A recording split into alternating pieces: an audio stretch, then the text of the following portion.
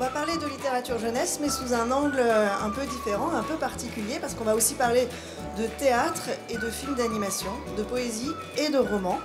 Pour parler de, tout ça, je suis bien entourée de Claudine Desmarteaux, qui est romancière et qui est entre autres l'auteur de Jeanne, que peut-être certains d'entre vous ont, ont lu. Elle est aussi l'auteur de Trouble, qui est publié chez Albin Michel, ou du Petit Gus, un autre exemple que vous connaissez peut-être parmi euh, sa bibliographie. À côté d'elle, il y a Séverine euh, Garcia. Euh, pardon, j'ai répété juste après, résultat, Séverine Garde-Macias, qui est comédienne et qui est donc à porter sur scène le roman de Claudine Desmarteaux. Voilà, donc elle, elle s'est chargée de la création avec un metteur en scène et elle, est aussi la comédienne qui jouait le spectacle. Elle va nous parler tout ça ensuite. Et à côté d'elle, Camille Gauthier qui est éditrice et qui a donc édité ce livre qui est aussi un livre un peu particulier, pas vraiment un livre de poésie, pas vraiment un artbook, enfin un peu tout à la fois. Elle va nous expliquer mieux tout ça. En tous les cas, je vais vous expliquer en gros et Camille, tu me reprendras si ça va pas.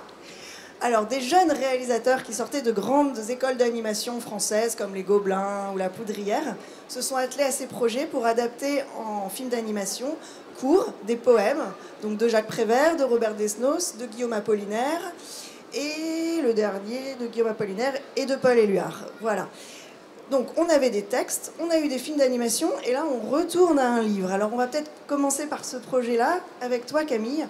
Pourquoi en regardant ces films d'animation, tu t'es dit qu'il y avait un livre à faire, en plus des, poèmes, des recueils qui existaient déjà. Ben, en fait, nous, on a eu un. On connaissait évidemment euh, les poèmes de ces grands poètes, et quand on a découvert les courts-métrages d'animation qui avaient été faits, donc depuis 2013, euh, il y a eu une saison par année, à chaque fois de 13 euh, courts-métrages. On a eu un vrai coup de cœur euh, pour, ces, pour ces films. on a trouvé que c'était à la fois poétique, drôle, certains étaient plus mélancoliques, plus tristes, en tout cas qu'il y avait une diversité incroyable et que ça donnait un autre éclairage à ces poèmes qu'on connaît parfois par cœur, qu'on a appris à l'école et que les enfants aujourd'hui apprennent encore à l'école. je pense au Cancre de Jacques Prévert, le film euh, qui a été euh, tiré du, poème est tout à fait euh, singulier, original. Et je pense qu'il n'y a que la réalisatrice qui pouvait avoir cette vision-là du poème. Donc ça part d'un coup de cœur. Et après, on trouvait intéressant que ces poèmes qui partent de l'écrit, qui ont été mis en, qui ont été interprétés en images animées, reviennent sous une forme papier, imprimée.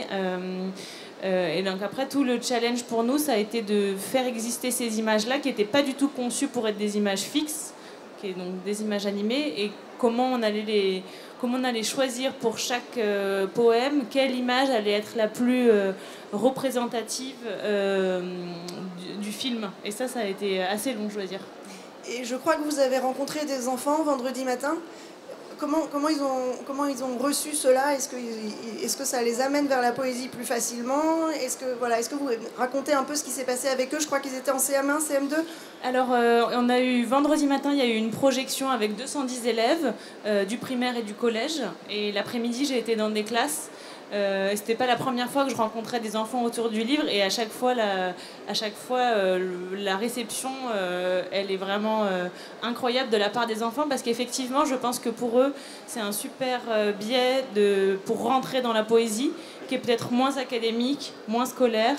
C'est des poèmes que parfois ils ont appris par cœur, mais par exemple, dans une classe de CM1, ils se souvenaient qu'ils avaient appris l'année dernière tel poème, mais pour beaucoup, ils étaient incapables d'en restituer le texte, alors que je suis sûre qu'avec le film, euh, il leur restera des images et comme les textes sont lus par des comédiens dans chaque film, je pense que c'est une autre façon aussi de, de, découvrir un texte, pas juste par la lecture euh, silencieuse, mais aussi par l'oralité. Enfin, on en parlera euh, après pour Jeanne, mais vraiment à chaque fois, on a un retour des enfants qui est incroyable.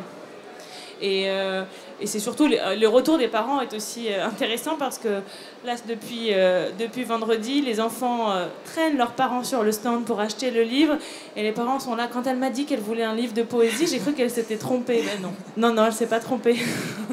Il y a aussi deux DVD dans le livre. Et il y a aussi, bien sûr, euh, dans le livre, il y a donc les 52 poèmes, euh, les deux DVD avec les 52 films. Il y a aussi 4 heures de making-of où on voit les réalisateurs travailler. Et ça, c'est intéressant parce qu'ils ont travaillé dans des conditions un, peu particulières.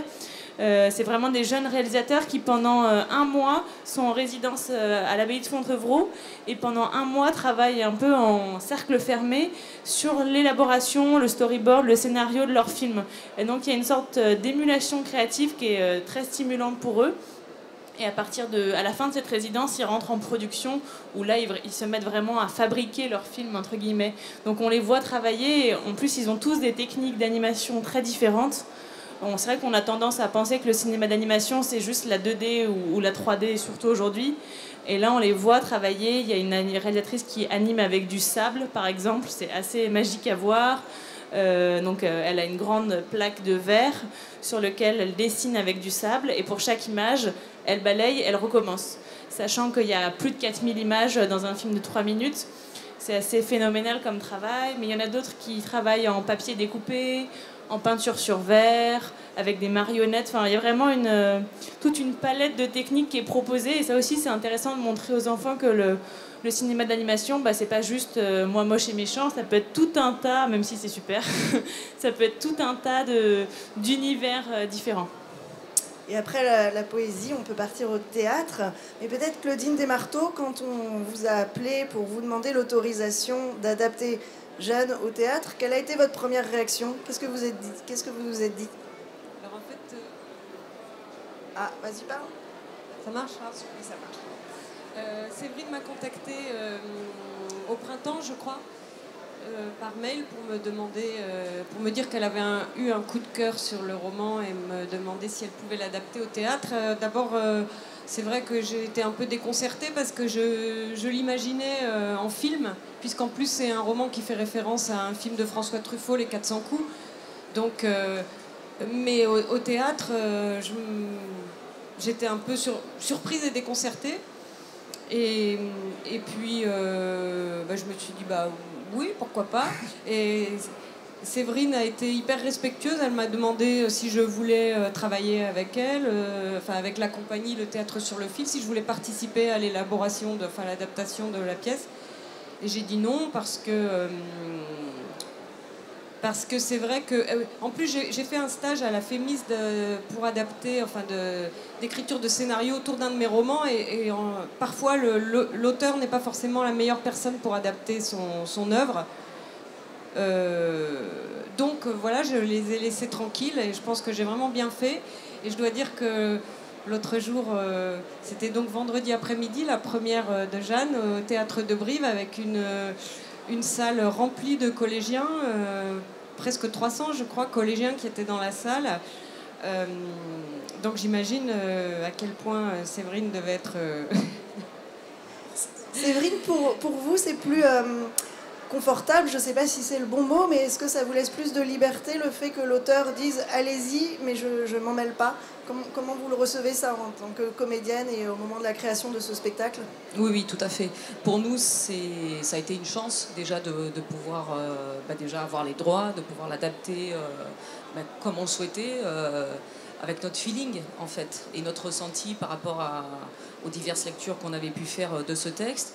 J'avoue que ça n'a pas été simple, parce que ça n'est pas, ça n'est pas un texte qui a été écrit pour le théâtre, euh, avant tout. Et du coup, euh, quand on a fait une première lecture, comme ça, euh, juste en lisant, ça mettait trois heures.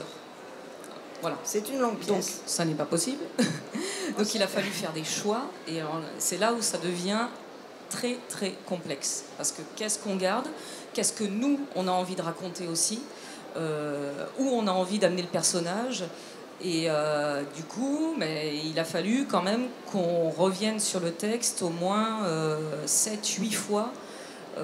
donc on a fait ouais, jusqu'à peut-être 8 adaptations en fait pour arriver à l'adaptation finale en fait. Et en même temps, il y avait visiblement des ingrédients entre guillemets dans ce texte qui vous permettaient de penser que c'était possible d'en faire une pièce. Est-ce que vous, vous pouvez en donner quelques-uns? Qu'est-ce qui, qu'est-ce qui fait que c'était possible?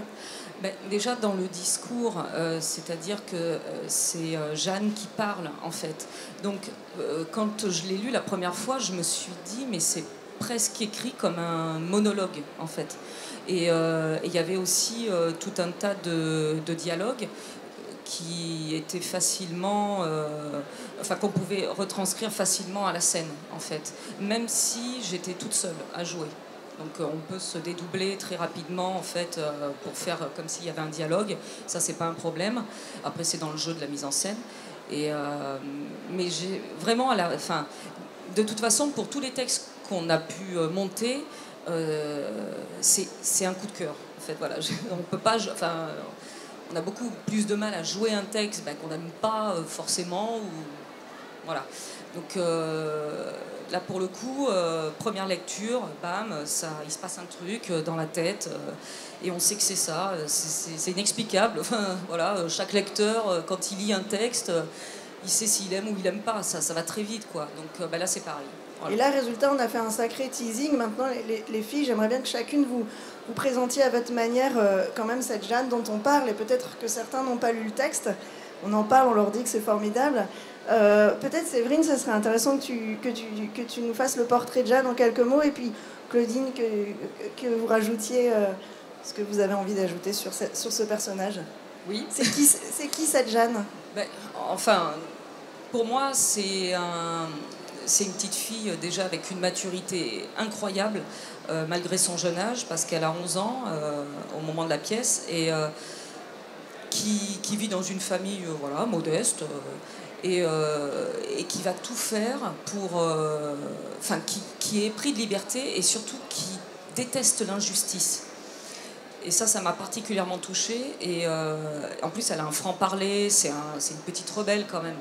Et, elle va jusqu'au bout vraiment jusqu'au bout. Et c'est quelqu'un d'hyper perspicace malgré les, euh, les aléas de la vie et la complexité de la vie d'adulte qui, tourne autour d'elle.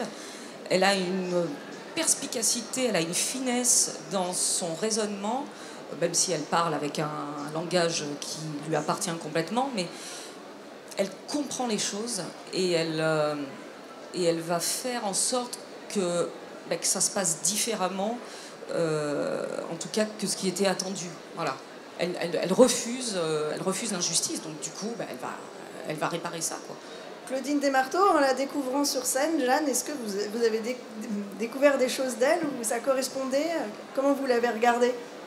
Alors d'abord ce que je voulais dire par rapport à ce que disait Séverine tout à l'heure, c'est qu'il y a quelque chose que j'ai vraiment beaucoup apprécié, c'est que euh, l'intégrité du texte a été totalement respectée, c'est-à-dire qu'il y, a pas eu de. Il y a eu des coupes, mais ça, euh, en fait, euh, tu me l'avais dit assez rapidement que, que, vous feriez des coupes, mais que vous ne toucheriez pas au texte. Et ça, c'était vraiment extrêmement agréable. Et puis après, la manière dont, dont Séverine s'est emparée du texte et du personnage. Alors moi, je peux vous dire que quand je suis arrivée dans la salle, euh, j'étais j'étais pas du tout à l'aise. J'étais pas du tout à l'aise parce que je me demandais comment c'était possible justement d'adapter ce roman avec plusieurs personnages, des lieux différents, des, euh, sur un endroit fermé comme ça avec euh, une, seule actrice. Donc euh, et la façon dont Séverine a cueilli tout de suite la salle au bout de et moi y compris au bout de trois minutes c'était fait. Enfin dès l'entrée en scène on avait tous eu le frisson et après une heure et demie toute seule sur scène euh, à incarner un personnage avec toute sa violence intérieure, en même temps sa tendresse, sa sensibilité. Enfin, je trouve que tu l'as parfaitement incarné. Et franchement, euh, moi j'étais absolument scotché. Je pense que c'est le cas de tout le monde dans la salle. hier, plein de gens sont venus me voir pour me dire à quel point ils avaient été touchés, émus par. enfin bon, voilà. Je suis émue même quand j'en parle. C'était magnifique. Et sur la mise en scène, euh, comment les décors, euh, vos costumes, et puis même enfin, tout, le, tout, travail de mise en scène, comment ça, ça permet aussi de rendre compte d'éléments du roman qui ne sont pas forcément euh, portés seulement par le texte? Mais Justement, on, part, on, on, part véritablement du texte, en fait, de ce qu'il raconte, des images qui sont déjà à l'intérieur du texte, parce que c'est quand même bourré d'images. Quoi. Et et après, une fois qu'on a fait euh, l'adaptation, on se dit, bon, voilà, qu'est-ce qui... Et par exemple, le, vous, vous, jouez le père, donc vous, vous êtes sur, seul, seul, sur scène. Comment vous pouvez montrer le père sur scène? Est-ce qu'il y a des, des choses qui, qui, le permettent dans la mise en scène, des objets? Quel choix vous avez fait? Ben, alors, si on, si on veut parler euh, justement de la scénographie, euh, alors, je, vais essayer de faire court, mais je suis obligée de, de, partir du début. En fait, le... Jeanne, en fait, c'est Janice, en fait.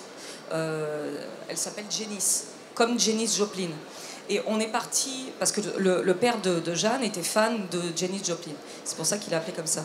Donc on est parti de Janis Joplin. Et le metteur en scène On tient, il, écoute Janis Joplin, donc on, va, faire un disque, un vinyle géant.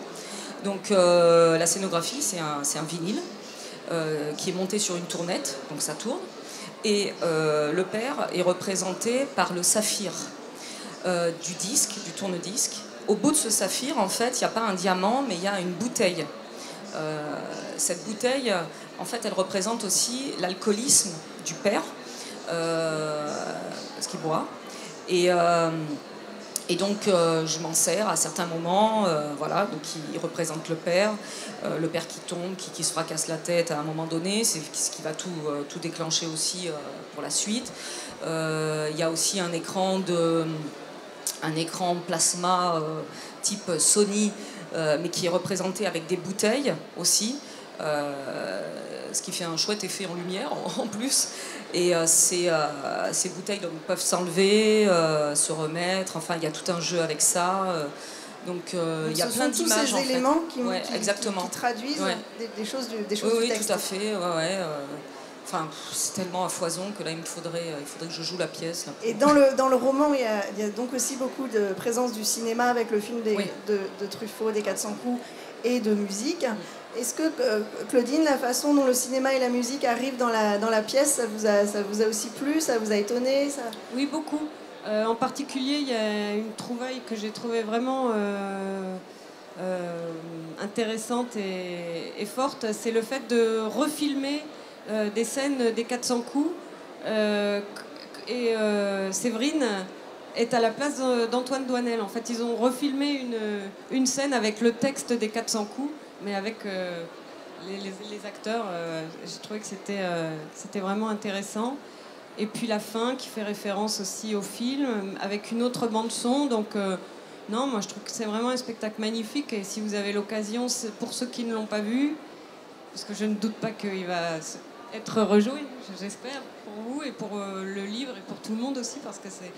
Bah, allez le voir parce que c'est vraiment euh, un beau spectacle. Et toutes les trois, ces, euh, ces ramifications que prennent les textes, en, passant au film d'animation, au théâtre, ces liens, où vous voyez le livre là? Est-ce que ça peut être une passerelle pour que euh, des spectateurs de Jeanne le lisent ou, euh, se plongent dans la poésie pour les films d'animation? Enfin, où, se nouent les, liens entre euh, les, romans et les textes et leurs adaptations? Est-ce que vous avez l'impression que ça permet de passer plus facilement l'un à l'autre? Est-ce que c'est des cousins? Voilà. Bah, pour les films d'animation, moi je trouve que oui, c'est vraiment une passerelle. Et, euh, et d'ailleurs, quand je suis intervenue en classe, c'est ce qu'on a fait avec les enfants. Et, et, on voit bien que ça marche et que c'est. Que, oui, que, c'est fait, c'est pas fait pour ça, mais en tout cas que ça fonctionne comme ça. C'est-à-dire que moi, je leur lisais un poème, on n'avait pas regardé le film avant, je leur lisais un poème, et on réfléchissait ensemble, on se disait, bon, alors si nous, on était réalisateurs, qu'est-ce qu'on pourrait imaginer à partir de ce texte-là? Et donc, on choisissait ensemble. Euh, et euh, bah alors, euh, on voit bien qu'il y a deux personnages. Donc, en même temps, il y a un petit peu d'analyse de texte. je dis je, alors qui c'est qui parle? C'est un homme, un animal, un extraterrestre Qu'est-ce qui va pouvoir se passer? Quel décor Dans quel décor ça va se situer? Et après, on regardait le film et l'interprétation que le réalisateur en avait eue. Et, et, les enfants étaient ravis parce que bah, ils étaient là, ah j'ai eu bon. Alors j'étais là, bah non, c'est pas que tu as eu bon, c'est que tu as eu la même vision que le, réalisateur. Alors ça veut dire que peut-être qu'on touche à quelque chose de l'essence du poème là. Si on a tous, euh, par exemple, interprété ce poème comme un poème d'amour alors qu'il était un peu obscur, c'est peut-être que voilà, on touche à quelque chose très proche du texte. Et euh, pour moi, c'est vraiment une super passerelle et au-delà d'être un, un, un, bon biais pour faire rentrer la poésie, euh, par exemple en classe, mais aussi en famille, parce que c'est vraiment des films qu'on a envie de regarder euh, à plusieurs, pour plein d'âges différents.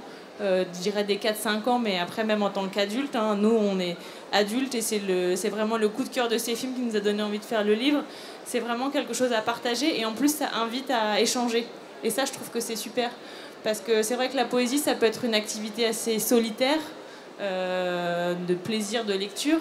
Et là, ça amène au débat. Ah, moi, j'aurais pas du tout fait comme ça, ou j'ai rien compris. Oui, parce qu'il y a des films d'animation qui sont, très, qui sont assez surprenants, qui sont vraiment singuliers. Complètement. Il y en a, qui sont un petit peu barrés. Il y en a, qui... sont un petit peu barrés. mais même nous, ce qui nous paraît parfois barré, souvent les enfants ils viennent y trouver quelque chose qu'on n'a pas forcément vu. Et, et, du coup, ça vient, ça vient interroger tout ça. Et on, ça nous amène à nous poser des questions qu'on ne se pose pas forcément quand on a par exemple que le texte. Donc je trouve que euh, ça vient pas du tout remplacer le texte, mais ça vient, euh, ça vient être un super euh, pendant et un super accompagnement. Est-ce que vous avez en tête un texte qui peut être assez hermétique pour des, pour des enfants? Parce qu'il y, y, a certaines poésies qui sont assez simples, ou le cancre qu'ils peuvent connaître, connaître par l'école. Est-ce qu'il y en a qui sont plus hermétiques et qui ont permis des passerelles assez étonnantes avec des, des jeunes de 8 ans, 8-9 ans? Bon, Il y en a plein. par exemple, je pense de Guillaume Apollinaire, Carte postale. C'est un texte très court, assez elliptique. Euh, et, euh, l'interprétation que la réalisatrice en a eue, euh, en plus graphiquement, elle trouve des solutions extrêmement intéressantes pour jouer justement avec la carte postale. C'est un film en papier découpé avec plein de trouvailles. et, justement, je pense qu'on aurait montré juste le film au début aux enfants, sans médiation. bah, il, voilà, il l'aurait pris tel quel, il l'aurait reçu tel quel. On aurait lu juste lu le poème je pense qu'en plus, il y a des mots compliqués dedans. Il y a le mot canonnade. Enfin, il y a des choses un peu complexes. Je pense qu'il serait passé à côté. Et là, le fait d'avoir euh, confronté les deux, eh ben, je suis sûre qu'ils s'en souviendront. Et que du coup, il y, voilà, il y avait aussi tout un travail sur euh, bah, la poésie. C'est pas parce que parfois dans le texte, ils comprenaient pas que, hum, par exemple, une phrase du texte disait du feu et de l'eau. Ils comprenaient pas qu'on voit pas l'eau et le feu. Et donc ça permet aussi de parler de poésie et de se dire que bah, la poésie, c'est pas forcément absolument figuratif et qu'on peut venir créer des images, des métaphores. Et, et ça, de toute façon, c'est une super piste d'entrée pour euh, la lecture en général, que ce soit euh, la poésie, le roman ou plein de choses. Quoi. À la fin de la représentation, je crois que vous avez pu parler un petit peu avec des, des jeunes spectateurs. Donc le, le, spectacle dure une heure et quart. Donc il y a beaucoup de choses qui ont été coupées. Est-ce que vous avez l'impression que ça, il y avait une, curiosité pour se plonger dans le roman? Est-ce que, est-ce que ça leur a donné envie? Oui, tout à fait. Et euh, moi, je leur ai expliqué justement que qu'on avait adapté. Donc il y avait encore euh, tout un tas d'aventures euh, qui arrivent à Jeanne et que, enfin, ils allaient découvrir des choses extraordinaires, encore plus même que ce qu'on a montré, quoi. Donc euh, il y en avait, enfin, je, racontais quelques petites bricoles par-ci par-là et euh, je voyais euh, les regards.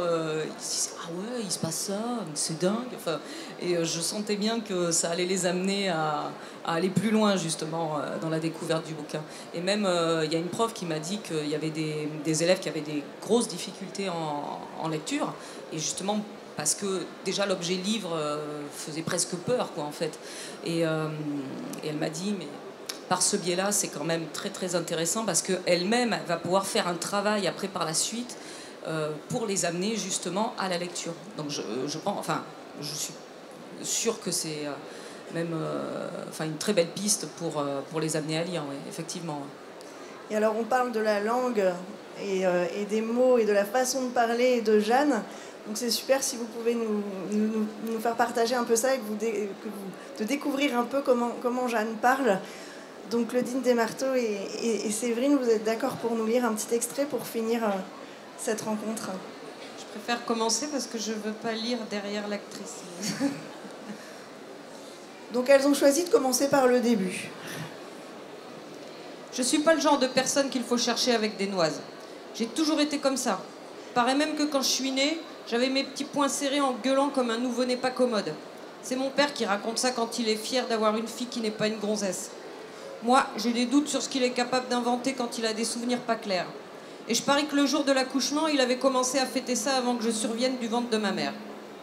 Le jour de ma naissance, j'ai oublié comment c'était. Le souvenir le plus ancien que je me rappelle comme si c'était hier, ça se passait à la plage et je devais avoir dans les 5 ans.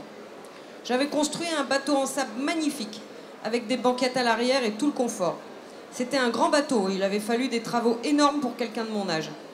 Ce serait malhonnête d'oublier de dire que mon père d'oublier de dire que mon père m'avait aidé. Surtout pour creuser le sable avec la grosse pelle.